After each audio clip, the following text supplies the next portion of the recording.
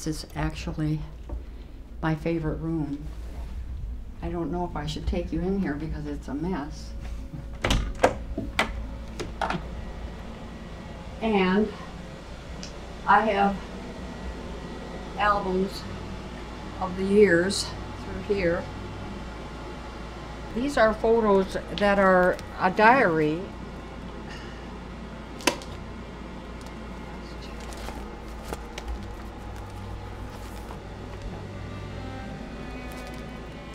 This is a picture of me on a photo shoot here, and it's almost like I'm kind of walking away, so it's kind of a like a double meaning there. And it just says so many memories, so many milestones, so many mills, so many miles, so many meetings, so many smiles. They uh, kind of had me in the beginning back when I still had hair and stuff, but uh, the family when our girls were little. So from 82 to 87, within five years, um, you can really see the difference starting to already develop and change.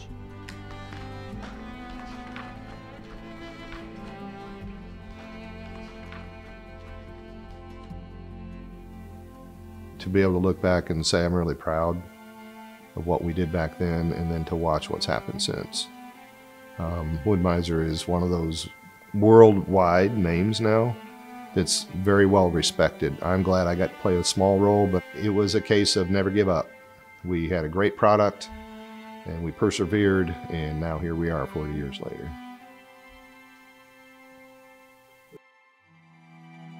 Well, I'm one of the original Laskowskis. Went to work for Wood-Mizer in August of 1979, which is three years before the sawmills came out. I worked there for most of 35, 40 years.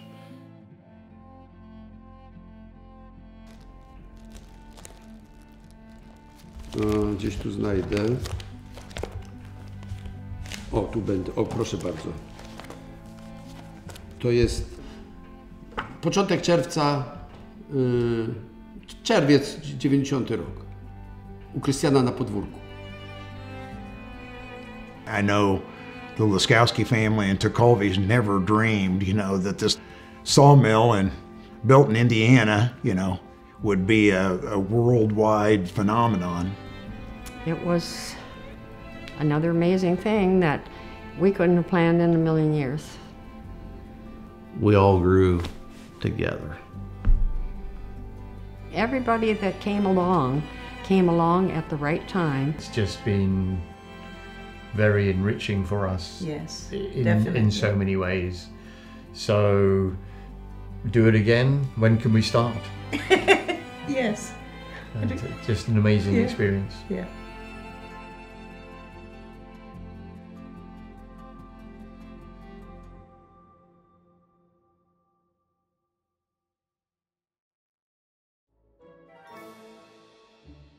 To explain how I was involved and our family's involved with Wood-Mizer, I have to go back a little farther to explain that it really started with the Duplicarver. Um, my dad designed a carving machine to make a picture frame for my mom. Mom thought it was a good enough idea that she called Popular Mechanics. Popular Mechanics said, oh, send us one, our labs will test it. Hey, that's kind of a cool thing. You would have a block of wood. You would bolt that down to this table. They gave us our one page and um, And so the article came out. And then over here, you would you would bolt down your, your figurine or whatever it is you're wanting to, to copy. and we were at the house with no manufacturing uh, abilities Mailbox would start filling up with with checks in it. You have a router over here that would follow and it would just carve out that figurine or image.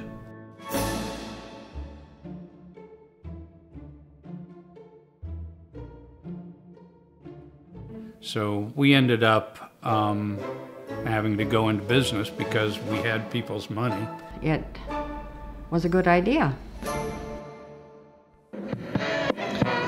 We would like to introduce you to the Unitech ULC 34 personnel carrier and crane manufactured by Unitech Products Corporation. The Unitech As we developed that market for the Duplicarver and just got bigger and we decided we wanted to go on to other products, Somewhere along the way, Dan Tekulve decided we were going to break into the the um, personal lift industry. Look at the Unitech, because one man can do the work of two. Took off pretty good, but it was not the kind of market we wanted to work with. They sold it.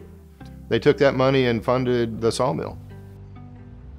Neither one of them knowing anything about sawmills. So I believe it was divine intervention to this day that they decided to do that. I don't think Don and Dan ever dreamed it would be much more than a little shop here and a little shop there. And just so happened it just grew way bigger than they ever dreamed it would. And so I think that's just the blessing that, you know, comes from doing the right thing first. When Dan started, it was basically with his brothers. And then as we grew, it was, hey, do you have any friends? Um, you know, what are they going to do after school? Well, I know this person. A lot of us are from right here is where it kind of started. It's where our, our very beginnings were.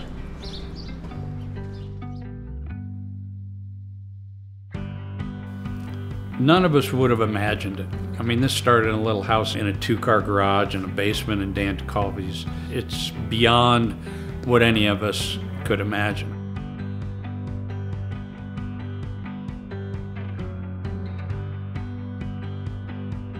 Uh, I get asked the question a lot about Wood-Mizer and its history and where we are today.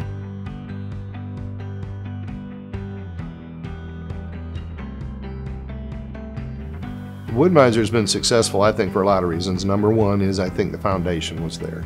You can't have a good place without a good foundation.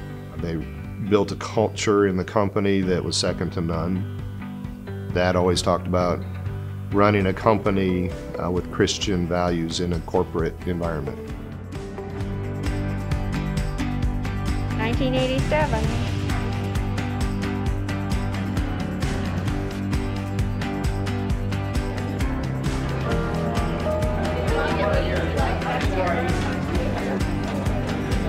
We.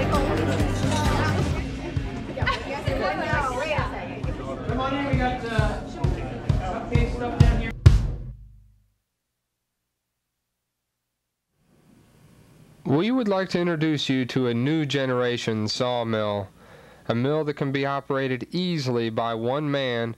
This new generation sawmill is Wood-Mizer Lumber Mill. Dan built the first sawmill, ended up not having a log. You know, I said, I've got a log. Drove the sawmill up next to it, loaded it onto the bed. We looked down the, the board and it was as flat as could be, and we thought, whoa, you know, this thing actually cuts wood.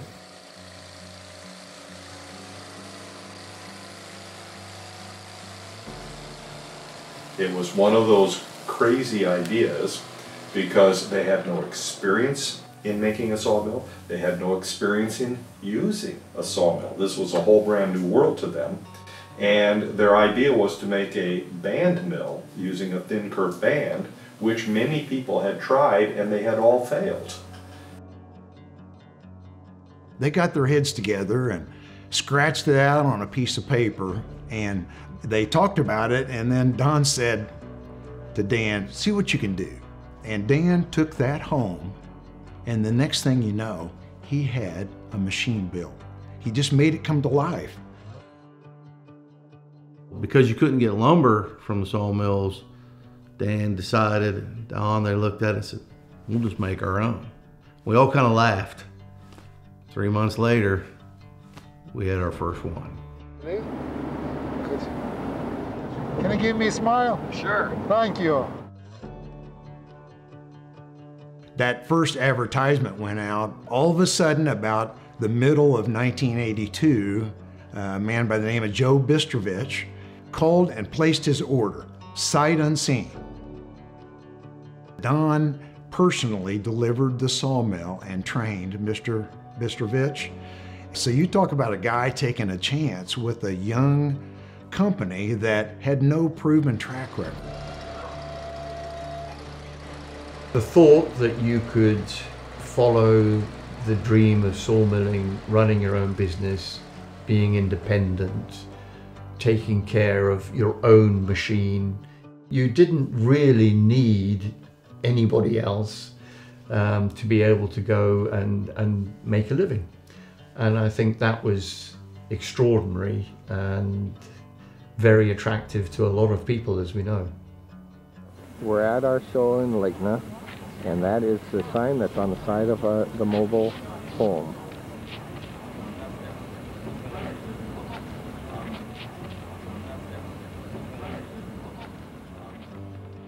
The option of being able to go out and buy a sawmill and actually cut lumber for a project or something you wanted to do didn't exist.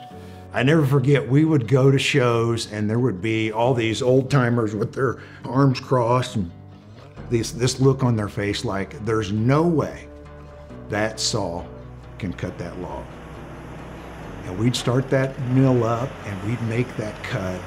And that little bandsaw blade would go through there. And we'd get done, we'd shut it off and those guys would come up there and look at it and feel that. And they still just would shake their head and they just couldn't figure out how it did it. That was fun to be able to go to those things and watch people just stand around as we're peeling off little pieces of wood and being new it was it was a lot of fun to have people watch. It's really generated a ton of interest for people to dream and to think, wow, I could do that.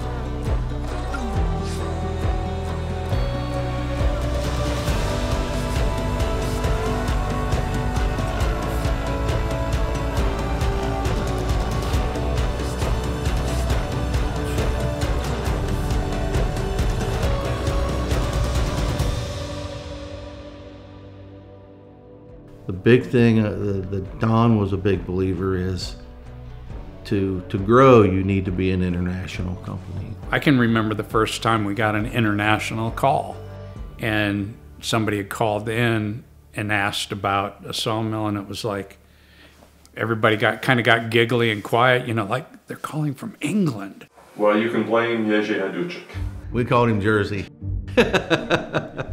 We had this um, persistent person come in the front door one day. Hajduczyk was living in America at the time. He was up in uh, the New England area.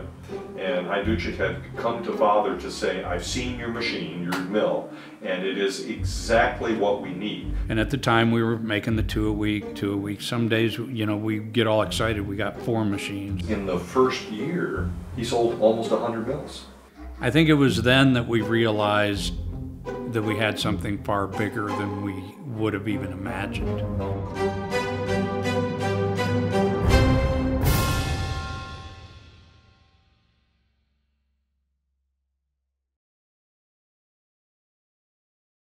Myślałem, że to jest tak oczywiste, żeby szkieletowe budownictwo wprowadzić do Polski, bo ono jest łatwe, proste, ludzie mogą dużo sami zrobić. Przyjeżdżałem do Polski z wykładami na te tematy, aż w 1989 roku na wiosnę jeden z gości powiedział mi, chłopie, gdzie ty się pchasz? Przecież te nasze tartaki jak wyglądają. Druga połowa grudnia wracałem z jakiejś tam budowy swojej do domu i był wypadek. A to jest miejscowość około 50 mil od Nowego Jorku. Jadąc objazdem zobaczyłem, jak Woodmeister stał na jakimś podwórku i ciął kłody.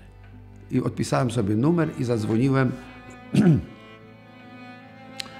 do Indianapolis. Zasiało to w jego, w jego głowie pewną wizję e, przedsięwzięcia w Polsce, ponieważ zawsze z tego co słyszałem, Jerzy powtarzał, jego serce było w Polsce. On marzył o tym, żeby wrócić do Polski i zrobić coś w Polsce właśnie około biznesowego. Z racji na, na to, że e, dość długo pracuję w tej firmie, to pamiętam początki. Sam moment przyjęcia utkwił mi w głowie, ponieważ ja byłem dosłownie kilka dni po, po ślubie. E, dostałem telefon od mojego kolegi szkolnego, że okej, okay, wiesz, tu powstaje taka firma, chodź pojedziemy, zobaczymy, co tam słychać. No też wsiedliśmy na rowery. Pojechaliśmy na ulicę Nagórną e, do siedziby SKR-u. Przywitał nas bardzo dynamiczny człowiek, który zadał czego wy tutaj szukacie? No, słyszeliśmy, że tutaj będzie praca. Proszę przyjść jutro na ósmą, jesteście przyjęci. Pracę w Woodmiserze rozpoczynałem w 1990 roku, a więc y, zaraz po oficjalnym zarejestrowaniu firmy, bo jak dobrze pamiętam, pierwszy wpis do rejestru handlowego, tak to się wtedy nazywało, y, miał miejsce 31 lipca 1990 roku. Później dostałem od y, Krystiana Lendli, który był pierwszym dyrektorem, jego księgowość, czyli jakiś zeszyt w kratkę z zapisami, kto wpłacił pieniądze, kto kupił maszynę i to tak, tak się zaczynało. Do pracy mnie przyjmował pan prezes Jerzy Hajduczyk w roku 93, stąd zapamiętałem go jako osobę pierwszą, którą tak naprawdę poznałem w firmie. Nauczyłem się sporo od pana Jerzego Hajduczyka, a przede wszystkim podejmowania szybkich decyzji. I pan Jerzy Hajduczyk tutaj dużo wniósł takiej właśnie świeżości z rynku zachodniego, z rynku, z rynku zachodniego i amerykańskiego. I was in on um, the first two or three years at, at in, in Poland, in Kowal, Poland, which uh, today is, uh, is a similar headquarters in Europe to the headquarters in the U.S. I remember the little town of Cole there the first time I was there. You know, it just tremendous change that's happened in, in, in Poland. I never forget my first trip over there when uh, Jerzy showed us around, and, and uh, it was really interesting. You know, what could be better? The centre of Poland, very close to the centre of the enlarged Europe and certainly the sawmilling part of Europe. So, uh, a very good decision. I think the original reason it came to Poland, uh, Koło particularly, was A, the Polish heritage of the Laskowski family, um, but also Jerzy Hajduczyk. Okay, this is Monday morning, uh, and uh, the fellows are just getting ready to go out and do some custom cutting. These are the two head mechanics right here, they do most of the assembly and alignment. Zadzwonił do mnie Don Laskowski, który dowiedział się gdzieś tam, gdzieś tam, że jakiś facet przyjechał tutaj i mówi, że chciałby budować domy w Polsce i Woodmiser to jest it. I on mówi, wiesz co, I think we should do something together.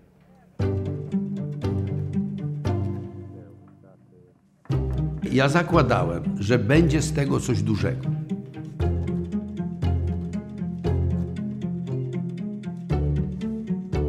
Pożyczyłem malucha. Wsadziłem Dona do malucha i w Polskę ruszyliśmy.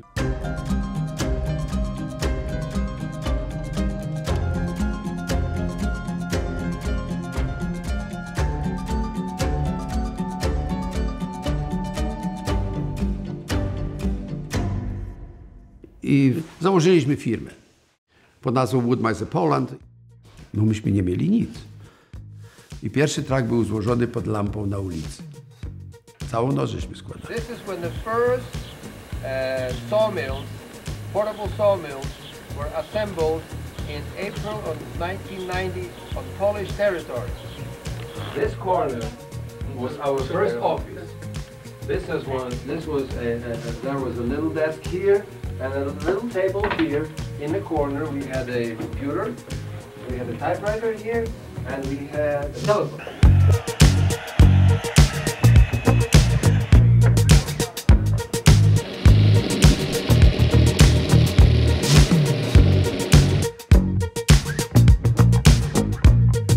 There's Danuta. She's she's hard at work on a Saturday.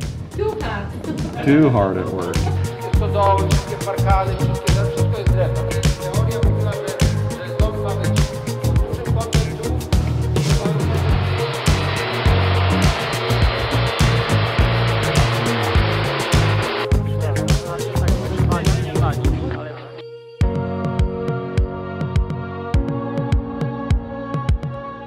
Woodmiser mocno się rozwinęła. Wtedy sprzedawaliśmy kilkaset maszyn. Dzisiaj widzimy firmę w zupełnie innym miejscu.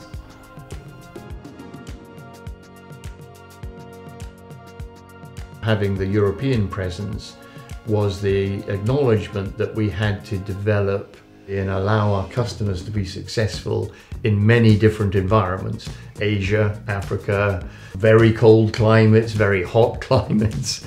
We're working with customers throughout the world, and our customers in each different part of the world benefit from things we learn in other parts of the world. I think that influx of experience and necessity was very important to the growth of Wood-Mizer globally. When Dan and Don got together and thought about that first sawmill, they, they were thinking, yeah, we could grow this company and continue to grow it. But I don't know that they were thinking we're going to have employees on six continents taking care of customers with our Wood-Mizer sawmills.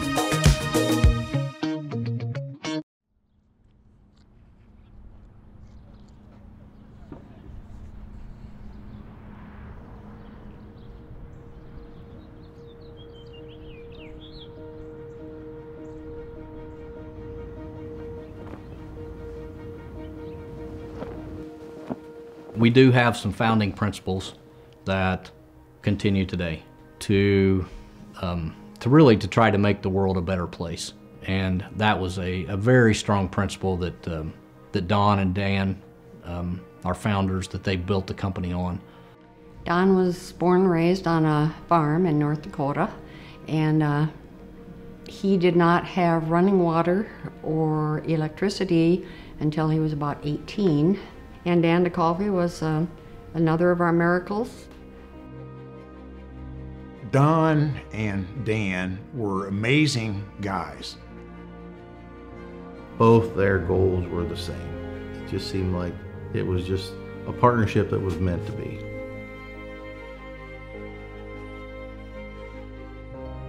No one gave us a chance in the world. We surprised everybody, including ourselves, so we were in love, and that makes a big difference.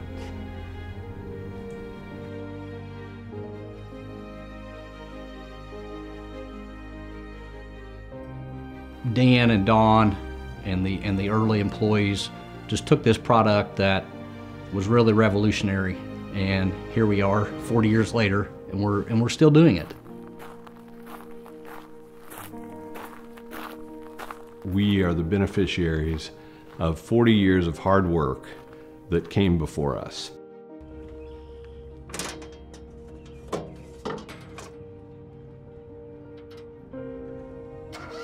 Wood-Mizer is much more than a sawmill, and we've seen that over the years as our customers have grown with us. It really is a lifestyle. Uh, I, I lived it myself when I pulled my LT28 out into the woods and cut a log. That feeling of accomplishment that we had by cutting a log into lumber.